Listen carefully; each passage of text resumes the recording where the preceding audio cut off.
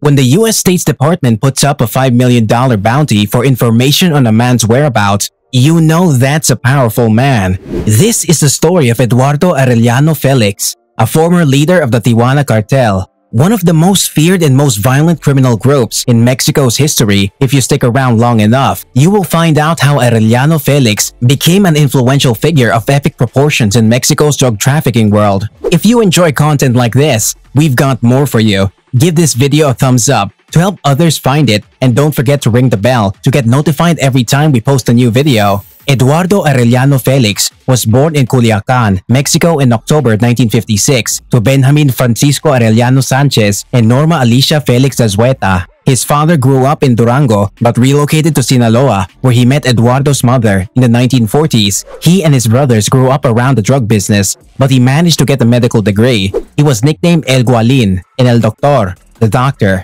For his history as a medical doctor, he rose to fame or infamy during a very violent era in Tijuana when the Tijuana cartel was involved in multiple criminal activities including drug trafficking, racketeering, murder, bribery, kidnapping, and other unlawful businesses. Tijuana is a small Mexican tourist town south of California. It's a border region between Mexico and the US, two very close business partners in the illicit drug trafficking space with 90% of the cocaine in America coming from or through Mexico. Tijuana has been home to many deadly cartels that have fought for superiority and control over the strategically important region for decades. One of the most successful of these criminal groups is the Arellano Felix Organization or metonymously Tijuana Cartel for its base in the Tijuana area of Baja California. The Arellano Felix Organization was an offshoot of the Guadalajara Cartel headed by Arellano's uncle, Miguel Angel Felix Gallardo, nicknamed El Jefe de Jefes, boss of all bosses, or El Padrino, the Godfather. The capture and incarceration of Miguel Angel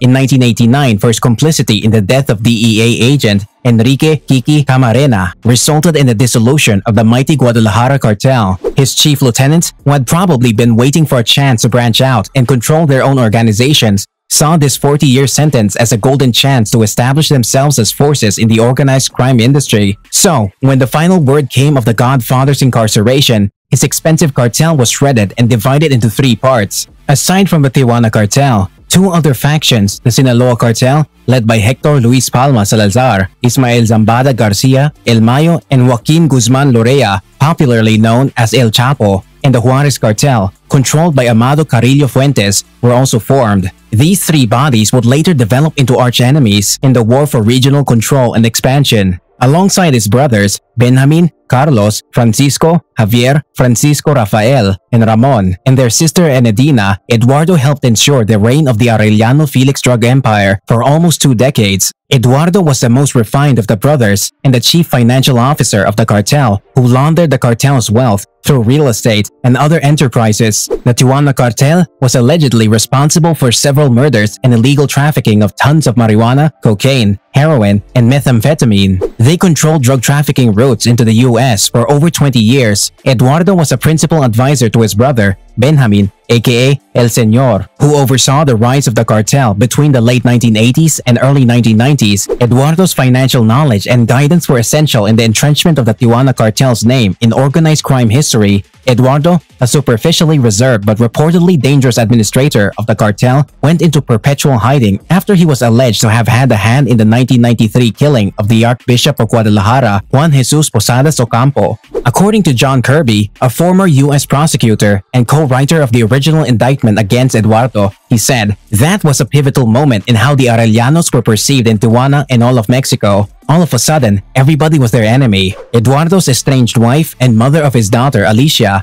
was also allegedly killed by Arellano gunmen for her suspected cooperation with U.S. officials after the capture of the then boss Francisco Javier by U.S. authorities in Baja California on August 16, 2006. The mantle of leadership fell on him. Eduardo was sanctioned under the Foreign Narcotics Kingpin Act for his involvement in drug trafficking along with nine other international crimes and two entities. This act prohibited U.S. citizens and companies from doing any form of business with him and froze all of his assets in the U.S. He steered the ship of the Tijuana cartel until his arrest in 2008. The U.S. State Department had offered $5 million for information leading to his arrest, and on October 26, 2008, on an evening in Tijuana, at some minutes past 5 p.m., 100 officers of the Mexican Federal Police or the Federales, as they were called before President Andres Manuel Obrador, absorbed them into the National Guard on 1st of October 2019, stormed Eduardo's three-tier mansion in the Fraccionamiento Pedregal suburb of Tijuana, where he had been living under a fake name. The armed standoff that followed ended prematurely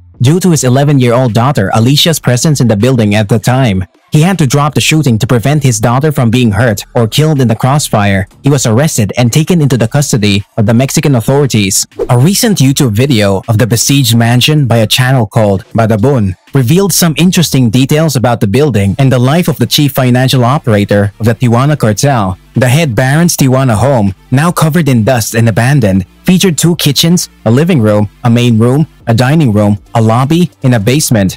A gym was found on the third floor, with some of the equipment still intact, and old magazines and newspapers were also discovered in the luxurious home, showing Eduardo enjoyed updating himself with the latest information, a testament to the claim of his sophistication. A dismantled red Mustang veiled in dust was also found in this parking lot. Signs of the heavy discharge of firearms during his arrest could be seen inside and outside the building, which was peppered with bullet holes from all angles. Alicia's toys were strewn all over the floors, and she was definitely precious to him. He had lost an infant son in a propane gas explosion that left him badly burned in 1998. The authorities identified him with the burn marks on his skin as he had been in the background for a long time and almost unrecognizable when he was found. To quote the words of a spokesperson for the Mexican law enforcement after Eduardo's capture, the people said, This is a big blow to what is left of the organization. The blow was more impactful because, in the months leading to the apprehension of Eduardo, infighting in the cartel between Fernando Sanchez Arellano Felix, aka El Ingeniero, the engineer, and a long-term lieutenant and cartel leader notorious for stewing or dissolving his victims,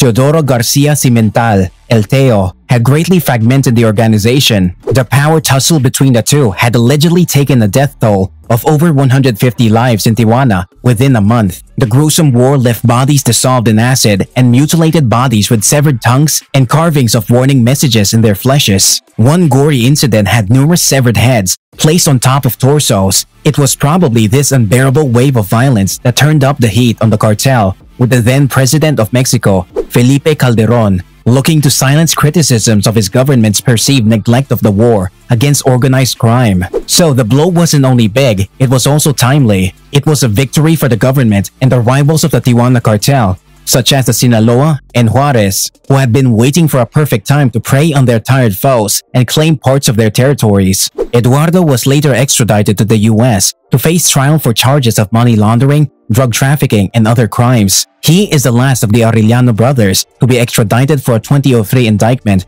for racketeering, drug trafficking, money laundering, and several killings. A statement from the U.S. Justice Department stated, the indictment alleges that the leadership of the Arellano Felix Organization, or AFO, negotiated directly with the Colombian cocaine trafficking organizations for the purchase of multi-ton shipments of cocaine, received those shipments by sea and by air in Mexico, and then arranged for the smuggling of the cocaine into the US and its further distribution throughout the US. He was sentenced to 15 years in prison, which was the maximum sentence under the plea deal by a San Diego court for conspiracy and money laundering charges. This was a reduced sentence when compared to what his brothers got, and it was because the US court considered him less involved in the unsavory aspects of the Tijuana cartel's operations. But Judge Larry A. Burns reminded Eduardo that he was convinced all the same because he was very much aware of his criminal acts. The judge also reprimanded him by saying he should be ashamed of his actions because they hurt the community and US-Mexico ties.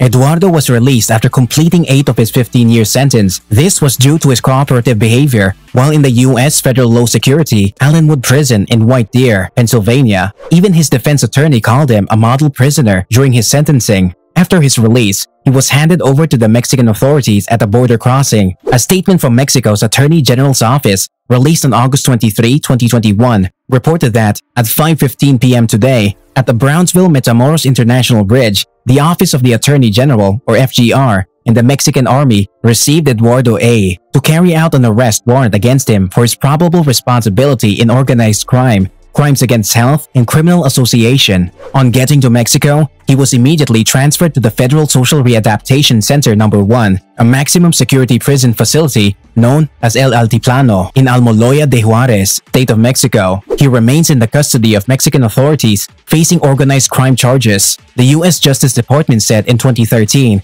that court documents showed that the Arellano brothers were responsible for moving hundreds of tons of cocaine and marijuana worth hundreds of millions of dollars from Mexico and Colombia into the US. Eduardo was the last of the brothers to be sentenced or killed in connection to the cartel's activities. What's left of the syndicate is now under the leadership of Eduardo's sister, Enedina. The weakened and less influential Cartel Tijuana Nueva Generacion had been fighting to wrestle Tijuana back from the Sinaloa cartel who have dominated the area since the capture of Eduardo, Edina maintains the operations of the cartel with the help of connections in Colombia. There also have been reports of alliances with rival groups to fight the dominance of the Sinaloa cartel. Eduardo Arellano Felix was a member and later leader of a ruthless criminal gang that engaged in every thinkable crime, but he was also a loving father to his daughter. How do we balance the idea of such a violent personality with the image of a caring parent? This just shows that human beings are capable of exhibiting all kinds of behavior, and eventually, every man must pay for his crimes.